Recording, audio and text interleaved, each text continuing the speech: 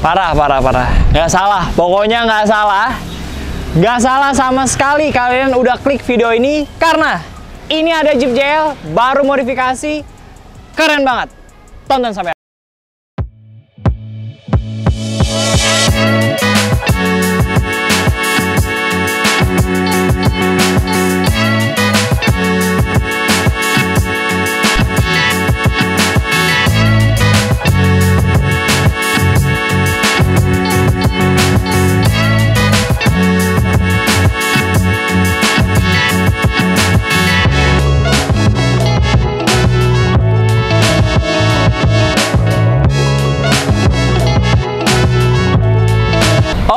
sahabat Jeep. Jadi, ini ngomong-ngomong soal Jeep JL lagi ya. Aku tuh paling suka kalau Jeep JL itu yang terkonsep. Kenapa? Karena mobil seharga 2 miliar. Kalian bayangin aja, tahun ini tuh OTR-nya 2 miliar lebih, guys. Jadi, kalau misalkan punya mobil bagus, tapi konsepnya kayak asal tempel, asal tempel, asal tempel, bagus, bagus, bagus, tempel, tapi jadinya nggak bagus gitu, kurang maksimal, uh sayang banget. Nih contoh, ini ada Om Yosua, jadi dia sebelum mobilnya turun, konsultasi dulu ke tim kita, yaitu salesnya Johannes. Jadi udah konsultasi nih sama Johannes, kira-kira Jo, bagus mana nih mobil gua? Gua mau datang barang Jeep JL warna kuning ini, 4 pintu. Oke, jadi ini dia ada listnya di tangan aku sahabat Jeep. Pastinya nih ya, dia pengen mobilnya tinggi tapi buat harian. So, Johannes pasti rekomendasiin pakai lift kit 2,5 inch aja. Kenapa harus 2,5 inch bro? Ya jawabannya yang pertama, buat travelnya dia sudah cukup tinggi untuk melewati trek-trek yang ada di Indonesia, khususnya di daerah Jakarta dan Jawa Barat lah. Masih itu masih aman banget. Walaupun di luar kalau mau upgrade lagi ya nggak masalah. Tapi dua setengah buat harian juga itu masih nyaman. Ini sama aja aku bilang lift kit hybrid dua setengah itu guys terus shocknya nih pakai Falcon piggyback 3.3 wah jadi udah kombinasi banget nih guys. Ini pakai SP2 yaitu SP tuh tipe dari si shocknya yaitu sport. Dia tipenya tuh untuk lift kitnya Teraflex dua setengah, Falconnya pakai shocknya pakai Falcon piggyback 3.3 itu udah kombinasi yang daily rutin banget tuh. Tapi buat main pada saat hari Minggu dan Sabtu itu bisa banget guys. Terus selain dari konsep bumper yang akan berubah juga nantinya nih, ini pakai bumper anniversary. Wah, original. Nih perhatiin, original Mopar guys, karena beberapa tuh ada banyak juga bumper palsu yang mulai dimodif ke bumper ori. Kok bisa bro? Nanti aku akan jelasin secara detail kalau mobilnya udah mulai kita upgrade nih. Terus ini ada side step juga dari AMP Research tuh dia pakai power step tipenya tuh yang Excel. Nah ini spesial juga nih. Excel ini harganya memang dia berada di atas kurang lebih di 50-an gitu 55 lah ya sekitaran itu tapi ini yang bikin beda guys. 55 itu nggak sembarang 55 juta doang. Tapi secara looks dan juga fungsinya ah, itu sih better dan pastinya emang nggak salah. Mau duit nggak pernah salah guys. Gitu ya. Depan ntar ada wings juga pakai VR Evo. Terus tambah-tambahan kecil ban velg juga berubah. Wah nanti bannya ini pakai metode guys. Keren banget deh pokoknya. Lampu-lampu juga nambah. Ada baha design LP6 Terus ya tambah-tambah sedikit ada atlas doorstep juga. Dan kalau udah tambah lampu, yang lain-lainnya juga jangan lupa dikalibrasi. Perlu kalibrasi pakai Taser Mini dari Z Automotive. So guys, kayaknya itu aja yang aku bisa spill di depan untuk modifikasi Jeep JL warna kuning ini. Wah, itu sih banyak banget, bukan dikit lagi bro. Pokoknya nih mobil aku jamin pasti jadi bakalan keren banget. Nih terakhir, sebelum kita upgrade ke dua setengah, ini lihat deh. Ini tingginya tuh segini dong. Hampir ya di atas pinggang sedikit lah ya. Untuk bagian ini. Terus kalau bagian tengahnya, ya kalian bisa lihat kan lah ya. Kurang lebih berarti ini di 180-an. 184 sampai 185 lah ya. Kurang lebih. Ban juga ntar masih kecil. Tadi bakalan tinggi pasti nih. Karena standar pakai 255. Kalau upgrade dia bakalan pakai ban 37 12,5. Wih, keren. Tapi bro, kok bisa lift kit dua setengah pakai ban 37? Jawab. I wanna be the greatest. Everybody on the fake shit. I look around and feel like everybody is the fakest. I make this every day and I'm impatient. Hoping one day I blow up from the basement. Statement, the top is so vacant. I don't hear shit that I think is amazing. Waiting for my day when I'm playing sold out shows for a thousand faces. Hey, give me that crown. Get in my way and to be put down. It ain't your place, no, this my town. If I want that shit, then I'll get it right now. I'm losing it, the noose it fits some loose shit, a stupid myth. You choose to live or choose to dip, you choose to fight or lose your grip and lose a gift. Oh. I feel like I'm losing my mind Is everybody in the world blind? Please Lord give me a sign A sign harus terkonsep dan pastinya jangan asal tempel seperti yang aku bilang plus satu lagi nih kalau bisa yang original. Oke? Selama masih ada original kalian wajib tempel yang original. Kalau yang lain kenapa bro? Kalau yang Cina. Yang Cina sebenarnya nggak masalah guys. Cuman kayaknya ada yang sayang aja nih. Mobil Jeep JL seharga 2 miliar guys. Kalau ditempel Cina kayaknya ada yang kurang aja. Oke langsung aja kita spill modifikasinya mulai dari bagian eksterior baru kita lanjut ke kaki-kaki dan yaudah let's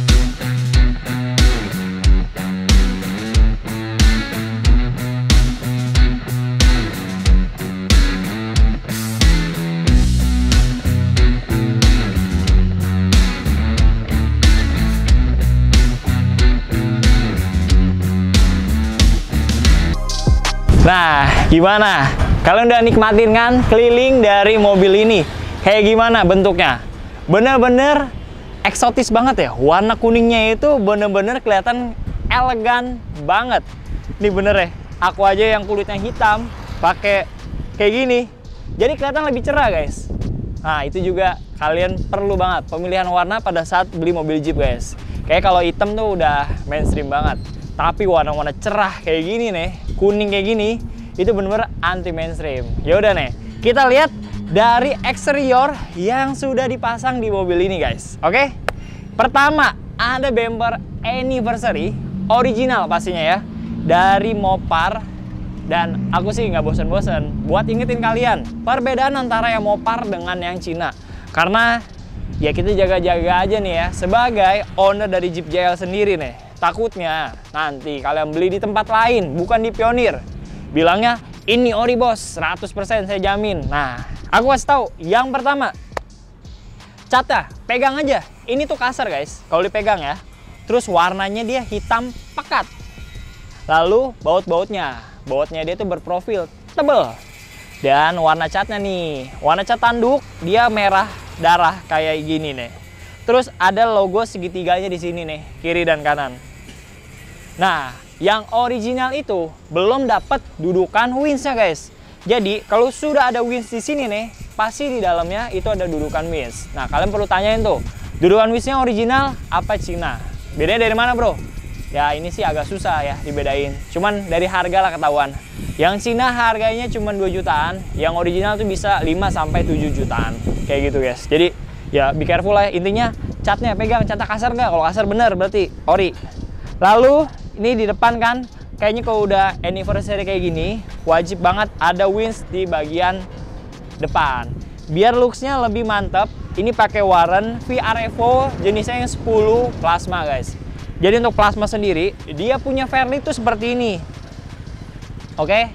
Beda dengan yang sling. Kalau yang sling kan dia ada tiangnya dua tuh kayak roller jadi kalau rollernya itu bisa dipakai yang namanya EZ Flip dari AEV jadi platnya akan kebuka tutup kayak gitu guys. Emang lebih keren tampilannya, tapi ya sedikit berat di bagian windsnya guys, karena kan talinya tuh tali besi. Beda dengan yang ini. Kalau plasma enteng, jauh lebih enteng daripada yang sling besi kayak gitu guys.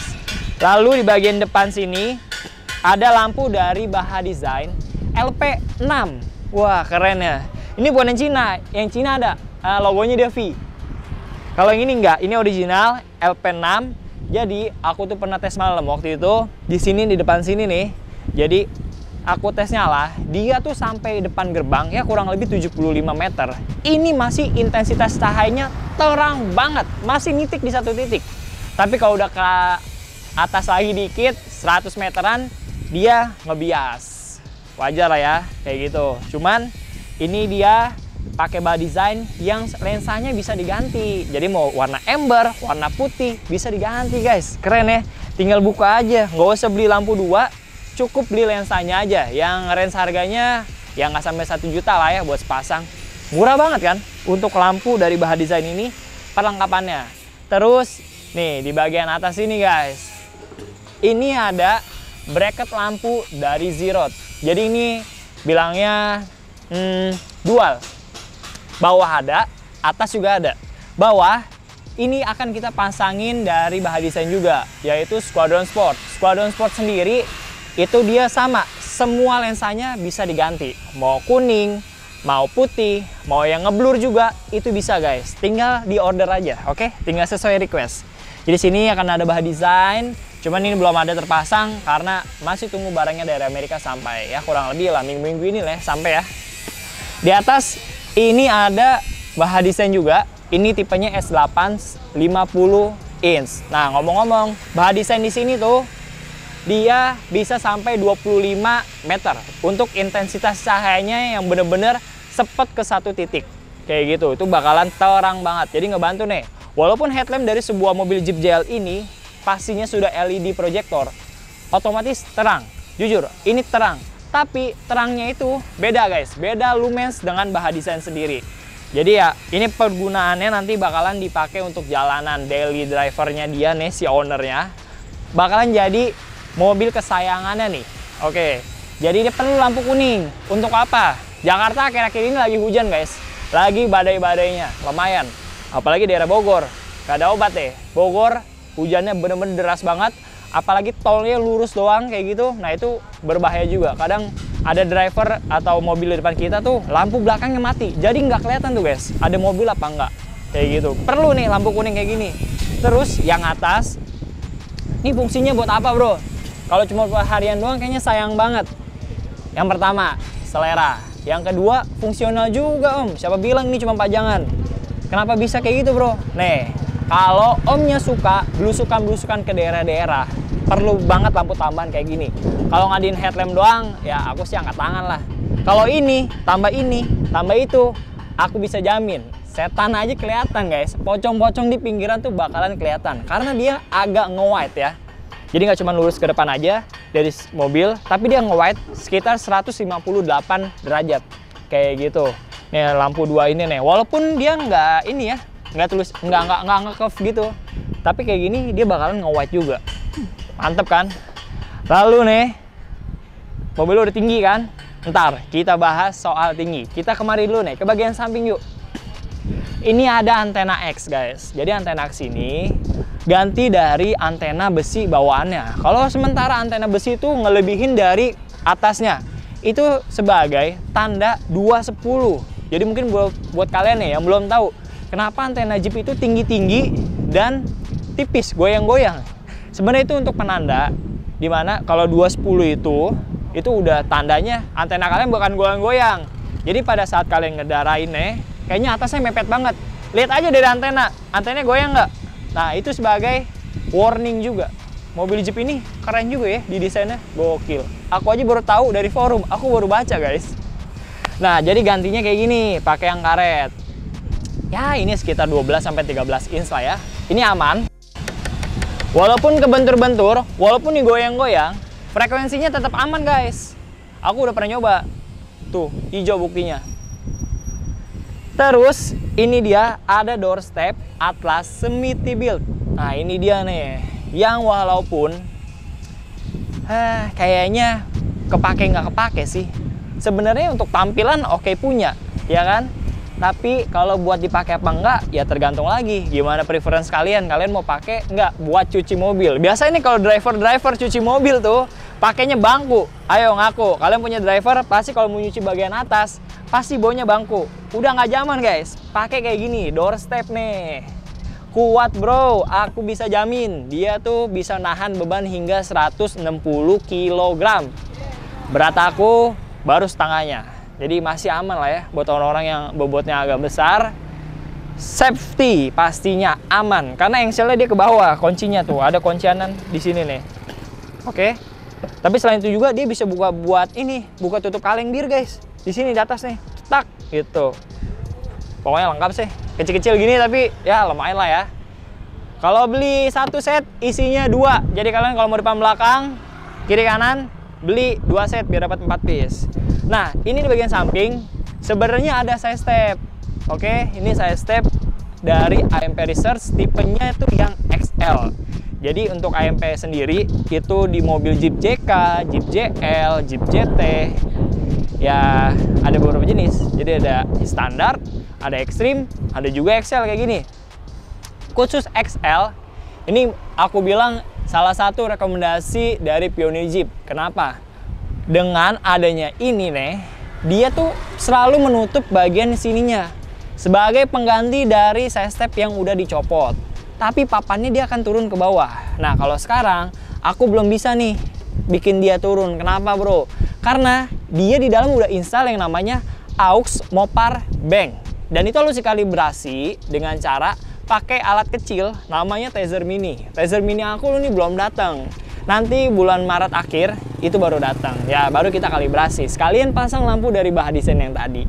Kayak gitu. Tapi tenang, jangan khawatir. Aku masih punya videonya kok biar kalian ntar bisa lihat juga kayak apa sih dia naik turunnya oke jadi kayak itu kita ke bagian ke belakang yuk let's go oke guys jadi di bagian belakang nih udah terinstall juga bumper anniversary original nah kalau yang original itu ya sebenarnya harusnya nih ya plastiknya dia itu rapih oke terus di sini ada lampu kecil sini untuk plat nomor. Jadi ini untuk slot plat nomor guys. Ya walaupun plat nomornya tipe-tipe plat nomor Amerika yang kecil. Kalau kita kan agak panjang tuh ya.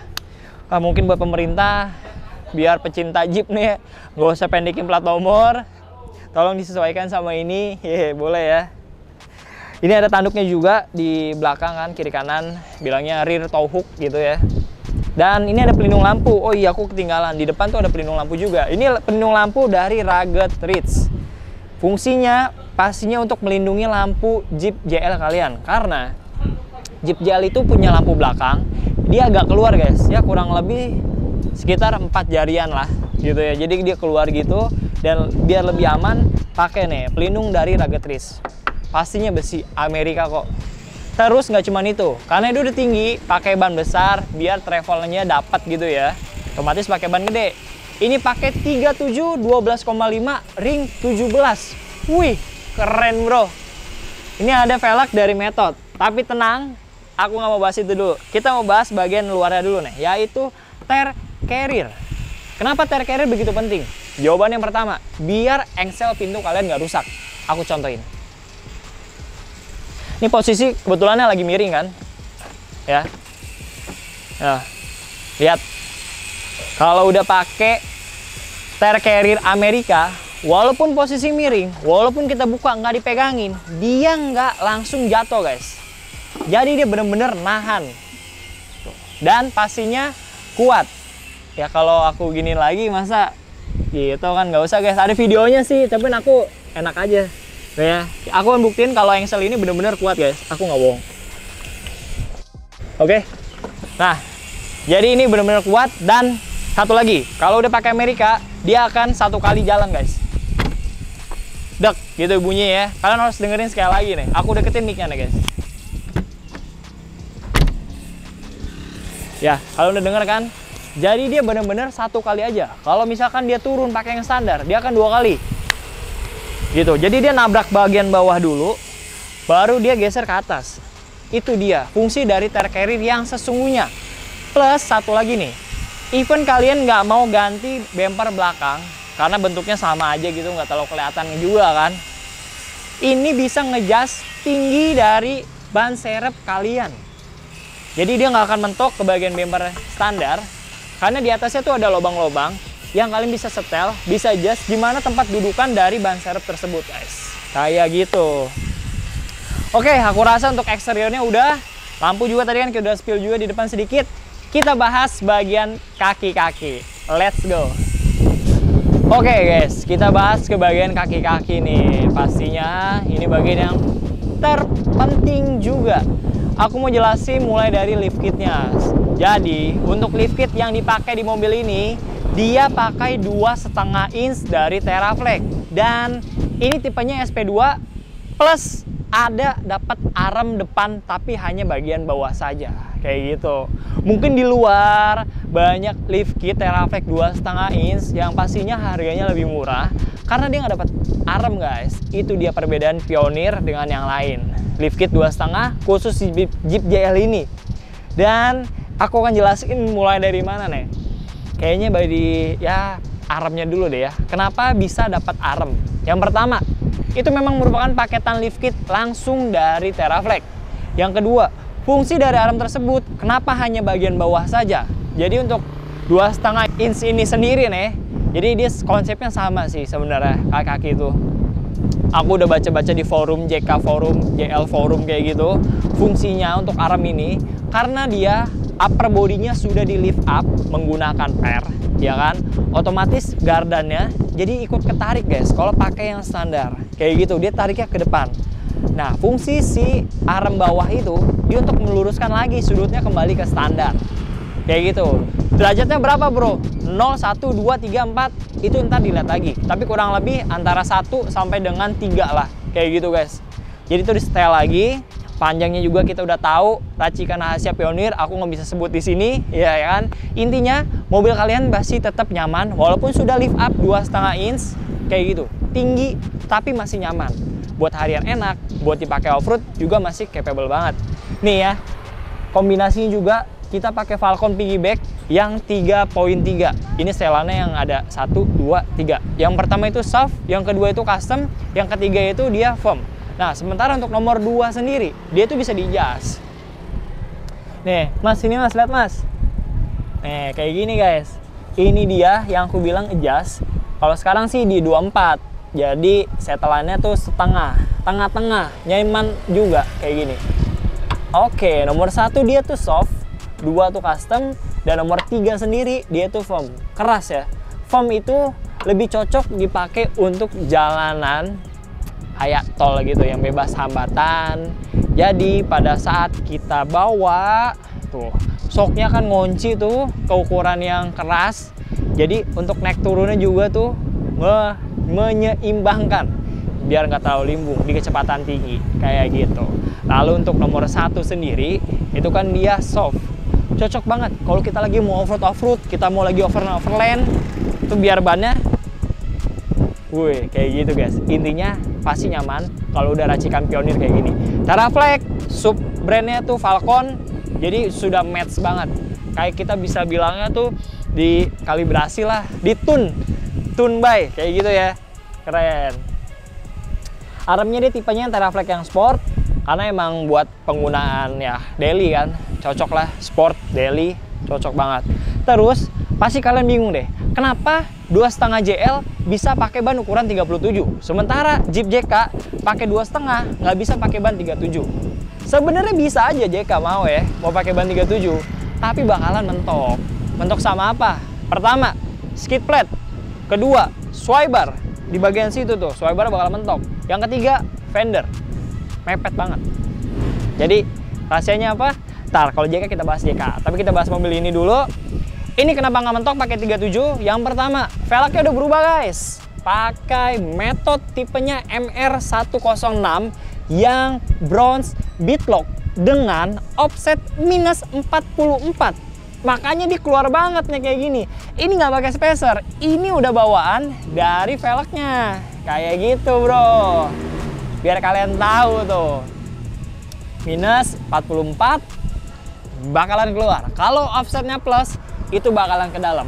Lebar velgnya berapa bro? Lebar velgnya ini dia 8,5 kayak gitu ya. Jadi kayak gini bentuk velgnya warna hitam kombinasi bronze dan kuning. Kalau dilihat di palet warna tuh kuning sama bronze masih masuk lah ya. Kan ada yang bilang kuning keemas-emasan. Nah makanya cocok velg kayak gini tambah body yang warnanya kayak gini bro. Bannya karena mau dipakai buat harian. Otomatis pakai tipenya tuh yang AT K02 ukuran 37 12,5 ringnya tuh 17.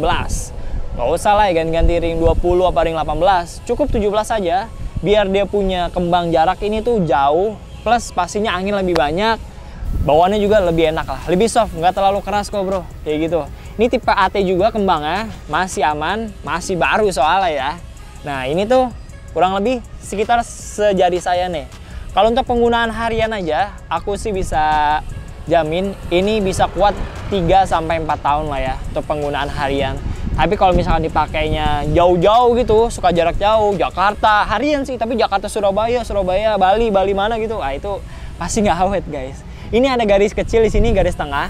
Garis tengah ini adalah pembatas di mana kalian tuh udah wajib ganti bannya. Jadi di sini nih, ini tuh udah wajib banget kalian ganti ban kalau udah sampai titik sini.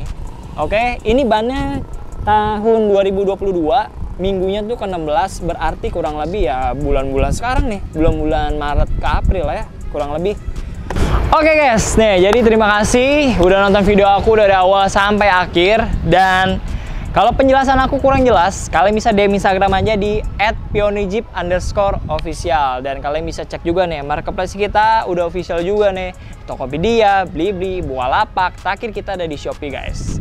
Terus kalian jangan lupa dong di like, comment, subscribe dan juga di share ke teman-teman kalian YouTube channel Pionir Jeep pastinya, oke? Okay?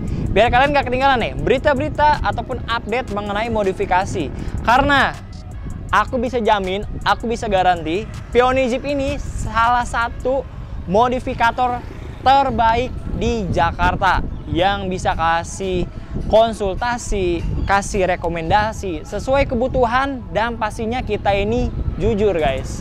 Beneran aku nggak bohong. Kalau Amerika aku bilang Amerika. Kalau Cina aku bilang Cina. Kalau aku bilang jelek jelek. Walaupun orangnya bilang bagus tapi aku bilang jelek jelek nggak karena aku udah sering nih mata aku tuh udah ngelihat banyak banget ribuan modifikasi di Peony Jeep pastinya ya Oke, jadi itu dia. Dan sampai jumpa di video berikutnya. Ada aku Alvin nih, ada Satria, ada Lutan juga yang bertugas. Jangan lupa support kita juga dong guys, oke? Dan sampai jumpa di video berikutnya. Dadah!